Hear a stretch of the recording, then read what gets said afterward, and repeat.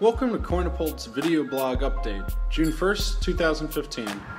The very first Bitcoin ATM in Panama has recently opened for service.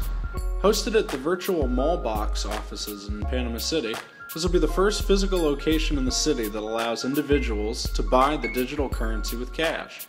Once cash is deposited to the machine, the user's bitcoins are automatically sent to their own Bitcoin wallet.